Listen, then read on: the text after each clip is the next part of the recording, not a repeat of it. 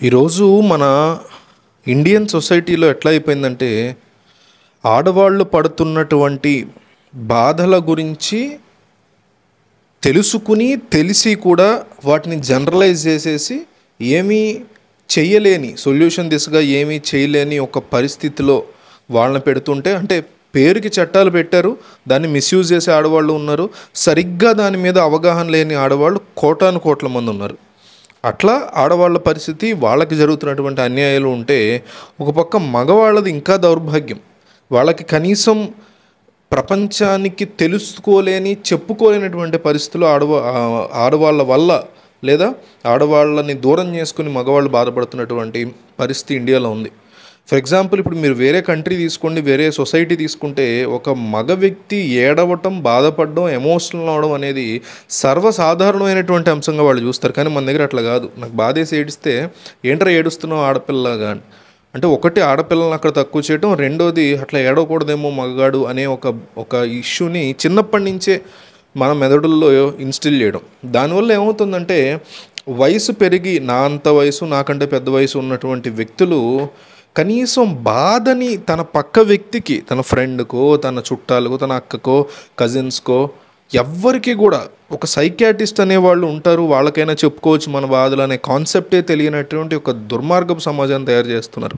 సరే సైకాట్రిస్ట్ దాకా ఎందుకు? కనీసం మనకున్న బాధ అరే నాకు ఏడుపు వస్తుందిరా ఇట్లా అయ్యింది నా లైఫ్ అని ఒక ప్రేమలో ఫెయిల్ అయిన వ్యక్తితో ఉద్యోగం కోల్పోయిన వ్యక్తితో తల్లిదండ్రులు చనిపోయినటువంటి వ్యక్తితో చెప్పుకోలేనటువంటి పరిస్థితికి ఆ వ్యక్తుల్ని మగపిల్లల్ని తీసుకొస్తున్నారు.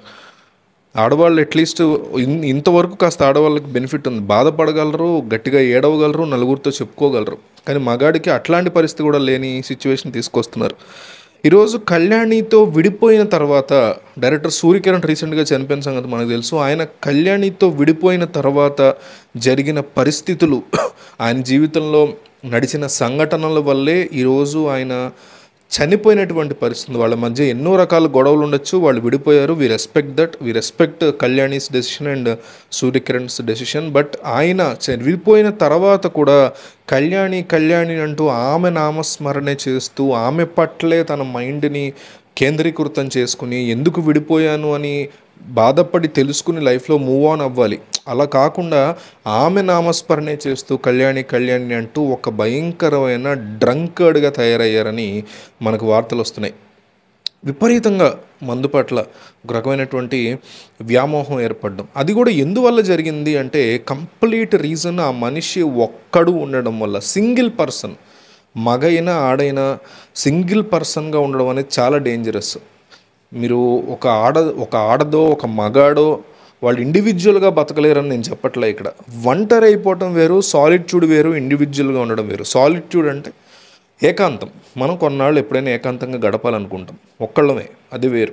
ఇండివిజువల్గా బతకడం. అది మనం కాళ్ళ మీద మనం నిలబడి ఇండిపెండెంట్గా ఇండివిజువల్గా ఏదైనా సాధించగలం అనే కాన్సెప్ట్ అది వేరు. అట్లా కాకుండా ఒంటరిగా అలోన్గా మిగిలిపోవటం జీవితంలో భర్తని వదిలేసిన భార్యలకి భార్యను వదిలేసిన భర్తలకి ఇట్లాంటి పరిస్థితులు సమాజంలో కల్పించబడుతున్నాయి. ఎస్పెషల్లీ మగవాళ్ళకి. ఆడవాళ్ళు పేరెంట్స్ దగ్గరికి వెళ్తారు పేరెంట్స్తో ఉంటారు. కానీ ఇతను ఒక్కడు ఉండాల్సిన పరిస్థితి. ఫ్రెండ్స్తో షేర్ చేసుకోలేని అక్వైంటెన్సులతో ఇండస్ట్రీ పెద్దలతో లేదా ఇండస్ట్రీలో ఉన్న ఫ్రెండ్స్తో ఎవరితో కజిన్స్తో అక్కలతో చెల్లెలతో పేరెంట్స్తో ఎవరితో షేర్ చేసుకోలేని పరిస్థితి.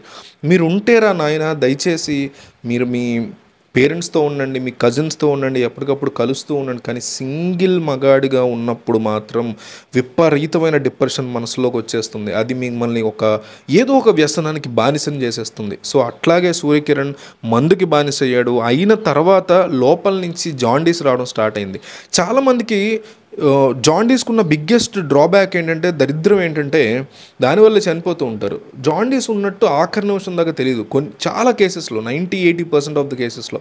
కానీ కొంతమందికి మాత్రం ఫస్ట్లోనే కళ్ళు ఎర్రగా అయిపోయి టాయిలెట్ పచ్చగా వచ్చి కళ్ళు పచ్చగా అయిపోయి టాయిలెట్ పచ్చగా వచ్చి తెలిసిపోతుంది. కానీ ఈ కొన్ని కేసెస్లో తెలియదు చాలా కేసెస్లో తెలియదు. అందువల్ల జాండీస్లో ఉన్నటువంటి వ్యక్తి ఏకాంతంలో ఒక్కడు ఉండి ఒంటరిగా విపరీతంగా మందు తాగటం వల్ల ఒక్క తప్పు వల్ల మందుకి అడిక్ట్ అయిపోవటం వల్ల ఆయన చనిపోయారు.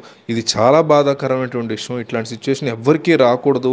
సూర్యకిరణ్ యొక్క జీవితంలో జరిగిన పర్సనల్ విషయాల గురించి మనం ఇక్కడ మాట్లాడట్లేదు అతను ఎందుకు విడిపోయాడు? ఆ కళ్యాణి ఎందుకు దూరంగా పెట్టారు? అనేదంతా వాళ్ళ personal issue we respect their privacy కానీ ఒంటరి మగాడు ఇట్లా ఉన్నప్పుడు దయచేసి కలుపుగోలుగా ఎవరినన్నా కలుపుకోవడమో ఫ్రెండ్స్తో క్లబ్కి వెళ్ళటమో సినిమాలకు వెళ్ళటమో ఒక రకమైనటువంటి సోషల్ మూమెంట్ అనేది జీవితంలో ఉండాలి మగైనా ఆడైనా. కాకపోతే మన సమాజంలో ఉన్న బిగ్గెస్ట్ ప్రాబ్లం ఏంటంటే ఒక రకమైనటువంటి ఇబ్బందికర పరిస్థితి ఏంటంటే మగాడు అనేసరికి ఉండగలడు ఒక్కడు చేయగలడు అంత అని కుదరదు. అది డిఫరెంట్ స్టేజెస్లో ఉన్నటువంటి డిఫరెంట్ పీపుల్స్ యొక్క మెంటాలిటీ బట్టి ఉంటుంది తప్ప జెండర్ బట్టి ఉండదు అనేది అర్థం చేసుకోవాలి. ఆడవాళ్ళకు ఉన్న దరిద్రం ఏంటంటే మొగుడితో విడిపోయిన ఆడవాళ్ళు సొంత ఇంట్లోనే ఉంటారు అమ్మ నాన్నలతోనే ఉంటారు. వాళ్ళకి అదో రకమైన తలనొప్పి దెప్పి పొడుపులు నువ్వు ఇక్కడ ఉండకపోతే మొగుడితో ఉండాల్సిందని ఇక్కడ ఉన్నావు. అదో రకమైన టార్చర్ అదొక డిఫరెంట్ ట్రామా ఇది ఒక మగాడికి ఇది ఒక ట్రామా ఏదేమైనా కూడా ఇట్లా జరగడం చాలా బాధాకరం. ఒంటరి మగాడుగా ఉండిపోయి ఇతను చనిపోవడం అనేది చాలా చాలా బాధేసింది నాకు. అందువల్ల ఈ చెప్దామని వీడియో తీస్తున్నాను